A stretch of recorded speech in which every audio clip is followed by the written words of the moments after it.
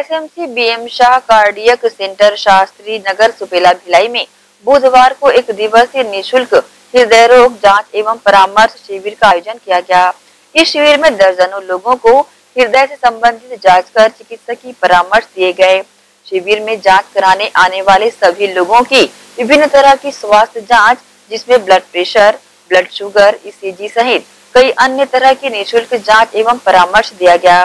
हृदय रोग विशेषज्ञ डॉक्टर सतीश सूर्यवंशी ने शिविर में आए मरीजों की समस्याओं को सुना और मरीजों की मेडिकल हिस्ट्री देखने के बाद उचित सलाह दी।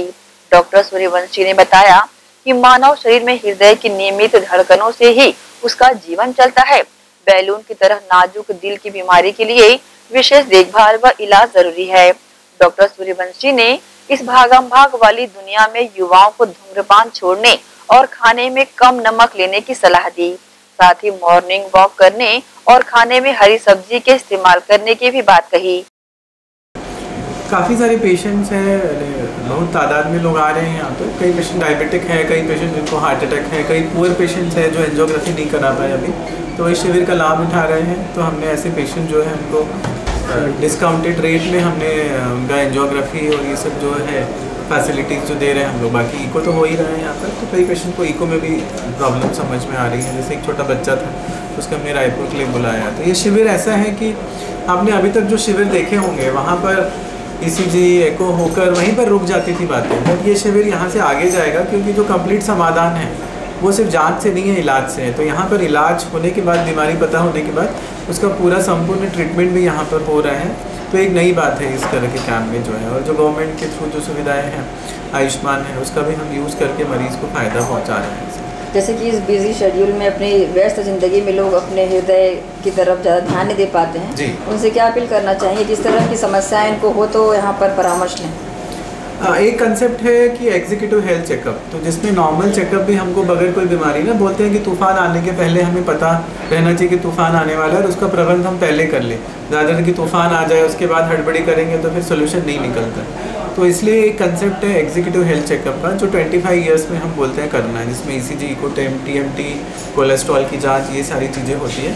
उसके बाद हर पाँच साल में आपको कराना है, अगर कोई रिस्क फैक्टर नहीं है। अगर आपको डायबिटीज़ है, अगर आपके, आप स्मोकिंग करते हो, आपके घर में किसी को हार्ट अटैक की समस्या है, आपको कोई प्रॉब्लम है तो उसके बाद हर साल कराना है। डायबिटिक मरीज़ जो है, उनको बहुत कॉशियस रहना है, क्योंकि उनको साइलेंट हार्ट अटैक आ सकता है तो उनको हर साल के चेकअप एनुअल जैसे हम अपना बर्थडे मनाते हैं, वैसे करते रहना चाहिए। और अगर हम जाँच करते हैं तो 12 परसेंट जो जनरल पॉपुलेशन है, अगर 40 साल के बाद, उनमें 12 परसेंट लोग पॉजिटिव आते हैं और उनको कोई तकलीफ़ नहीं होती।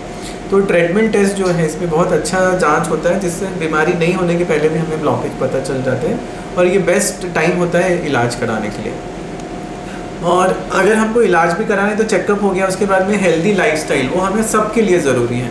कोरोना के बाद हम देख रहे हैं कि हार्ट अटैक का इंसिडेंस बढ़ रहा है। या वैसे भी अगर मैं बात करता हूँ तीस साल पहले की तो पहले पचपन साल, पैंसठ साल में हार्ट अटैक आ रहा था। आजकल आप जान रहे होंगे, आपके बहुत सारे रिलेटिव्स भी, अरे यंग पेशेंट की डेथ हो जाती है थर्टी फाइव फोर्टी ईयर्स में हार्ट अटैक को लेकर।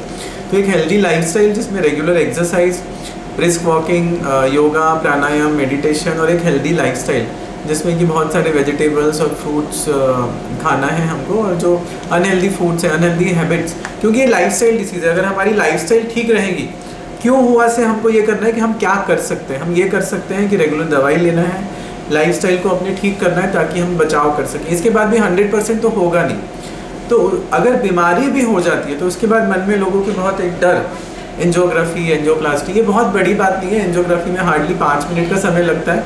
एंजियोप्लास्टी में आधा घंटे का समय लगता है और आप नेक्स्ट डे डिस्चार्ज हो जाती है। इवन बाईपास भी बहुत आसान हो गया है। तो घबराइए नहीं रेगुलर चेकअप कराइए और अगर चेकअप में प्रॉब्लम आती है तो प्रॉब्लम का सोल्यूशन बहुत आसान हो गया है अवेलेबल हो गया है, आप तक पहुँच गया है। तो उसका लाभ उठाइए और खुद भी स्वस्थ रहिए और अपने परिवार को भी स्वस्थ रखिए, अपने समाज को भी स्वस्थ रखिए। शाह कॉपरेशन में ये शिविर आयोजित किया गया है हार्ट मरीजों के लिए। इसमें ब्लड प्रेशर है शुगर है और वो मरीज़ जिनको कि हार्ट में पेन चेस्ट पेन वगैरह रहता है, जिनको हार्ट की नसों में ऑब्स्ट्रक्शन है।